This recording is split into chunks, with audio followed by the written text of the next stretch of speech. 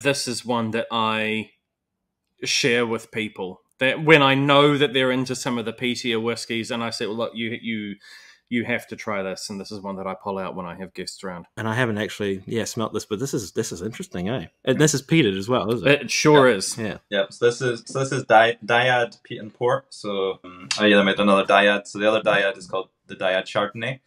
So so when they're Dyad D Y A D, that means it's a, a double double barrel. So Dyad means double or pair. So in, in sociology, teacher and student is a Dyad. Um, so we got the name Dyad, and so it's um, so it's, so it's a, a double cask, um, always in a wine cask finish, and so that could be like like a Chardonnay or or it can be a fortified wine.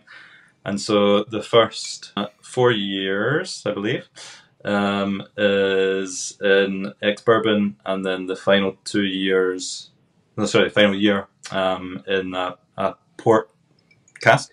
And I should qualify the use of the word port because it's not a port from Portugal, but it's a Waiheke port. And so Patrick Newton, he's the winemaker with Mudbrick Winery, and so he's transferred those those winemaking skills over to whiskey. Um, he he wanted to finish a a peated whiskey in a port cask, and so there's about thirty wineries on Waiheke Waiheke Island.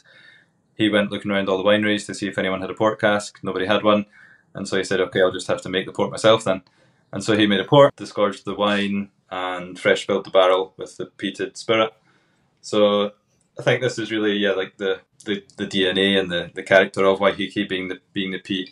It's got the story of, of Pat making the making the wine and making the making the, the whiskey, and so it is a true a true dyad, not just a double cask, but double Waiheke and double the person that made it. So yeah, it's um it's really I think the direction that Waiheke whiskey is moving in, and yeah, it was a, a real fan favorite I think at Dramfest.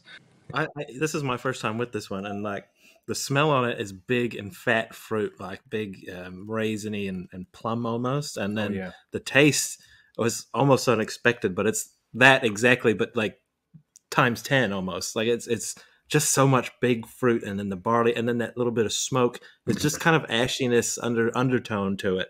Um, it's not really. It's not. It's definitely not up front. It's more that fruit up front, and then that that Mm. smoke is just there, sort of providing that little bit of ashiness, like you're around a campfire, Mm. um, with you know, with with some wine in your hand almost. But Mhm. But It's it's incredibly well balanced. Yeah, yeah. really well balanced. Yeah,